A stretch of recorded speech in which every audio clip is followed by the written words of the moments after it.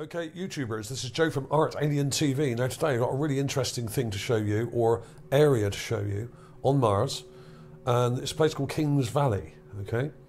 And this, to me, looks like a city, or partially buried city. And it's not one of my finds. This was spotted by Greg Oram, Greg Orme, I should say, with, a, with an M, Greg Orme, and was posted on Mars X Files a couple of days ago. I often post stuff on here, and I help um, adjudicate at this site and loads of other Mars sites. Obviously, I, I probably help manage about ten or fifteen, I think now, maybe even twenty. I've lost count. Um, a good, a good one. This very similar to Mars Magazine, and uh, this is Greg's post, and what he's found here, to me, looks like a city just here, and you can flick through these. There'll be a link to this original post in the description, the Facebook post here. And what I've done also is I've um, I've linked to it in these gigapans that I've done. These got some nice clips here showing some of these details. But what I've done is I've got the original MRO images from NASA, and here's the page. Now there's two of these. Um, if you click on this, you can get the stereo pair there's two of them. There's uh, one which is the left camera, one's the right camera. Okay, so there's a kind of stereo pair looking at this whole area, and what you can do is flick between them. Now, what I've done, I've got a raw one here. Now, this is 64781. This is raw, as it comes from NASA. This is the MRGB. Okay, and merged red, green, and blue. That means, and what we have here is a strip of color in the middle and the rest of it's black and white, okay? But I've also got the red version, which is kind of like monochrome, but this doesn't have the colour strip, so you can see the whole thing here. What I've done, I've enhanced this and I've cranked up the contrast by about 100%, as it says here, 100% contrast. So what it does, it brings out the shapes and you can see the details on the ground better and clearer because it brings out more definition in the shadows and shapes on the ground. Okay. Now, first, we'll take a look at this one. Now, this is unenhanced. This is as it comes from NASA, and in fact, this is pretty good already. Um, you can see a lot of detail here, and if you use the hover zoom magnifier, you can see here that there are what seem to be roads and raised walls and lots of interesting details in here, right? And when you look at the whole thing, this goes over a massive area. I, mean, I think this represents about five kilometres in width, this actual image. Um, yeah, it, it, I think it does represent exactly five kilometres. And this part of this, what I think is a city here, covers most of it, this part here. And it probably goes further over to the right, but the image doesn't go that far. About four kilometres across from this mound here, across to this thing here, and then right across here to the edge of the image here. Okay, now this is insane, and it's almost impossible for me to know where to start with this because there's so much to see. But what I'll do, we'll, we'll have a look at this one, which is the enhanced version, the red one.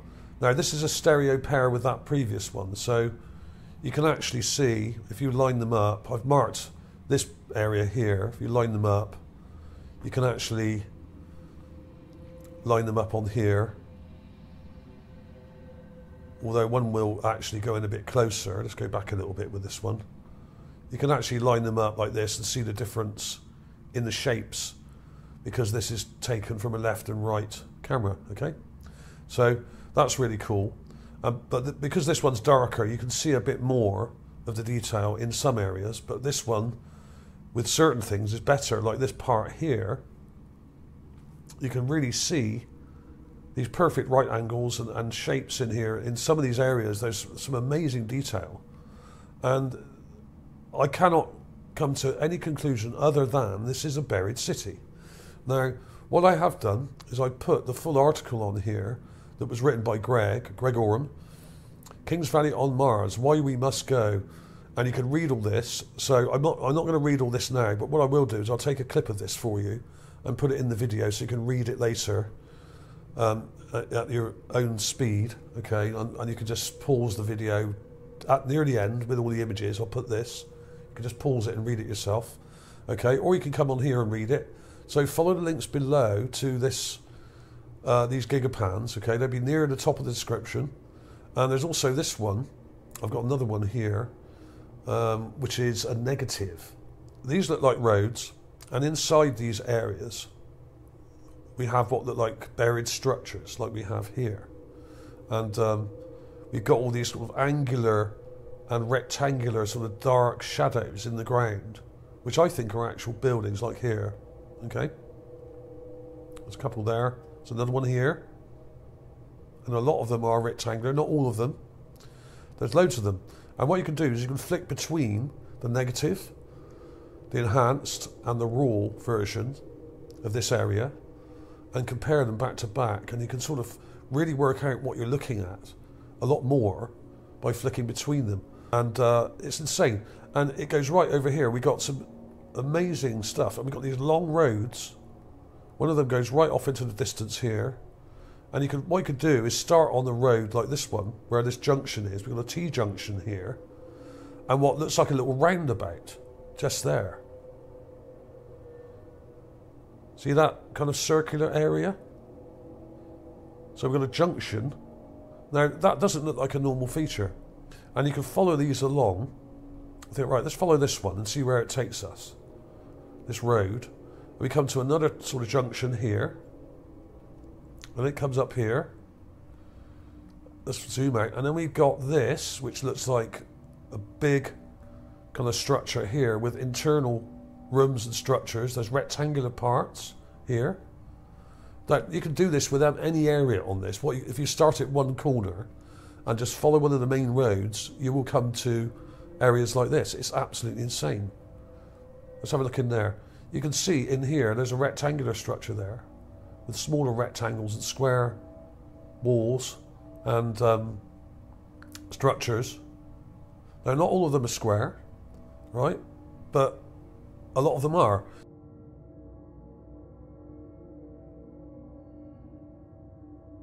The official explanation for this, there isn't really one, it just says polygons, okay?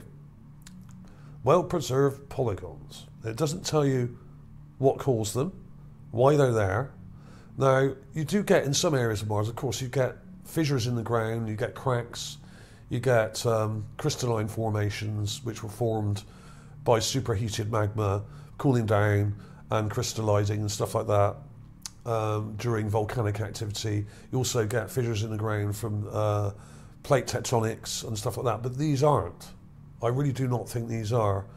Um, these look like actual buildings and structures and roads and possibly even like a like a river area here as well with a road going along the side of it like a like a, a river so a lot of these, I mean, in the colour you can see it as well pretty well, but it's a bit pasty in the colour. I actually prefer to look at it in this one because not only have I darkened it, but you can actually see better in black and white. I think the colour doesn't actually help that much, but you can see all these structures inside these areas, right, which have external walls. You can even see little bridges and stuff like that going over some of this now a lot of these roads have got sand drifted over them. You've got these sand dunes coming over here, see? So it looks like it's broken up, but that's just where the sand has blown over and covered it. Just there, see? You've got these dunes. But when you start looking at it, you think, hang on a minute, how much of this is actually sand and how much of it is structures? You can actually see quite clearly inside these areas that there are rectangular and polygonal shaped buildings all over the place. But the clearest part really is this bit. This is the main part, I would say, because it's, it's the most well defined. And the most obvious one, I think, is the one that near where I've marked it, just here. There's the marker. This one. I mean, this bit here. What is going on here? Absolutely insane. It's mental. Um, it's good detail you can see well defined shapes and roads and uh, streets and structures that are buried. There's a lot of sand drifted over some of these areas, But um, if you if you were to take clips of these and then just crank up the contrast even more, you'll be able to see the buried structures in between a lot more, which I'm going to show you in a minute. I'll show you some clips of that in a minute.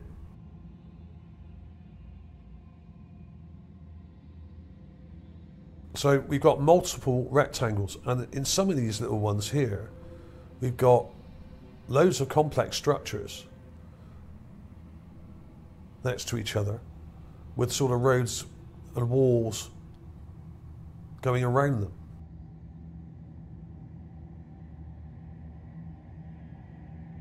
These are actual streets, roads, and there's even in some areas you can see little bridges going over certain areas, and you can see little side roads coming off the main roads and then joining back to the other main road as well. And if you look at the, the same area in this one, in negative, you can really see some of these shapes hidden in the other ones. So you can see a lot more detail of the buried structures in between these roads. If you use the magnifier, you can really sort of look between them and see these angled structures here. Okay?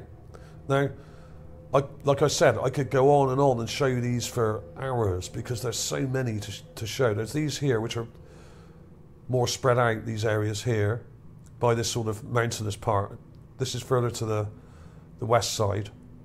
Uh, and up here is a really nice area here with some amazing detail on the west edge here. Let's look at it on this one.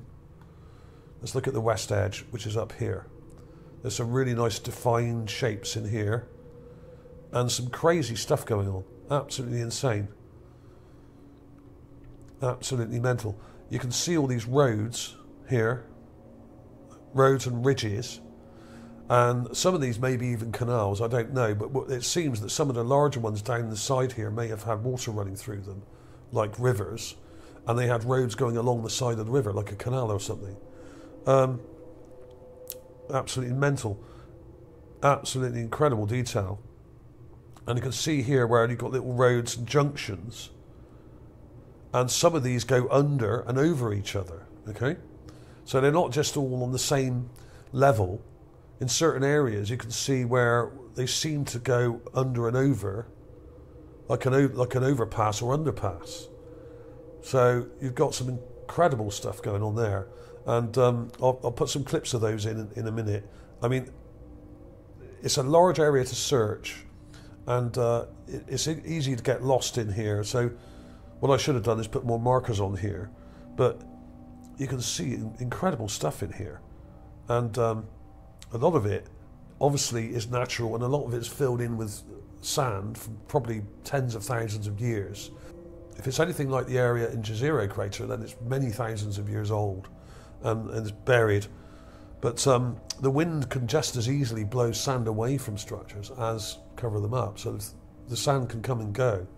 There are, I would say, probably tens of thousands of structures here in between these, uh, these roads. And some of them are really clear and some of them aren't. And some of them are just mountainous parts like this.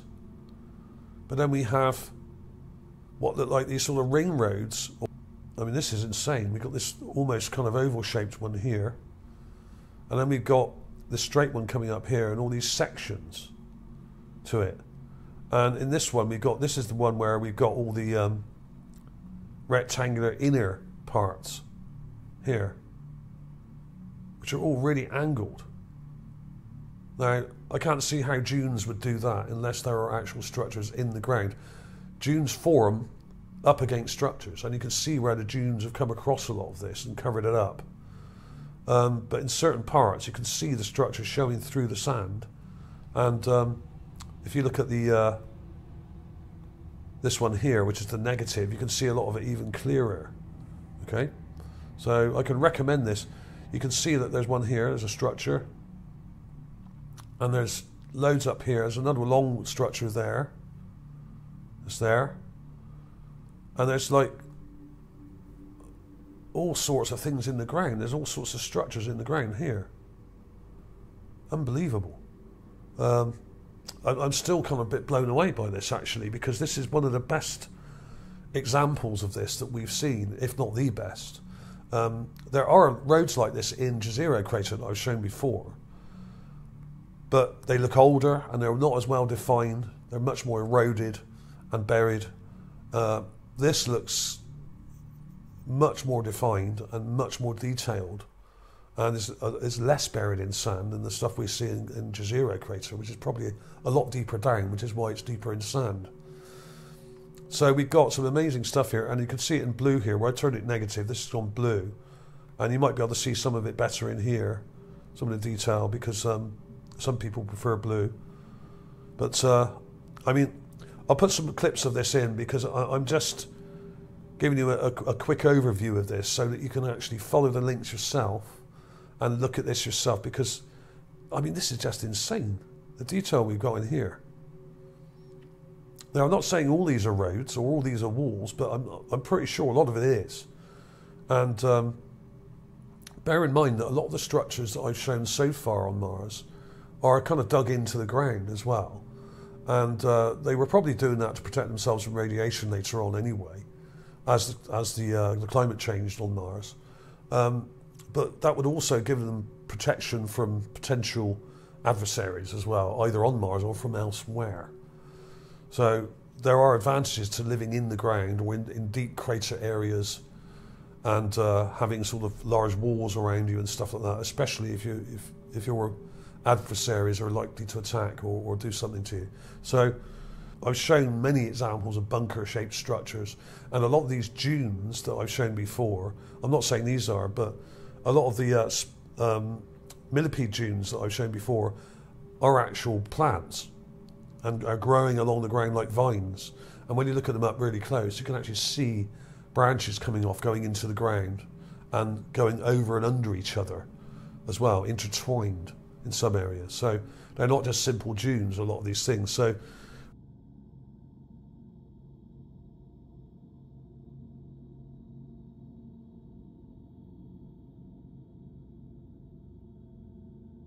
when you see dunes on the ground, especially uh, millipede dunes, always take a really close look if you can, because often they're not.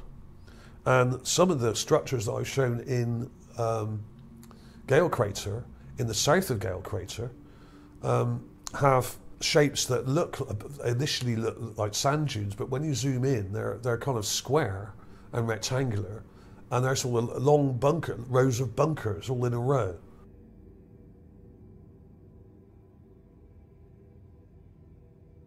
But I mean, just look at the detail in here; it's absolutely insane. So, clips coming up in a minute. Thanks for watching, everybody.